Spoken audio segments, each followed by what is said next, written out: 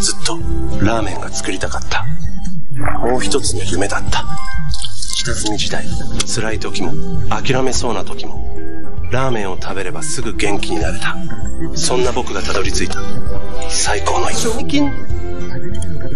ありがたい。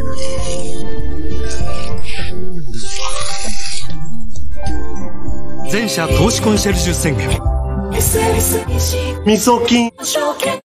ラーメンってね、アトピーに悪いんですよ。登録登録登録。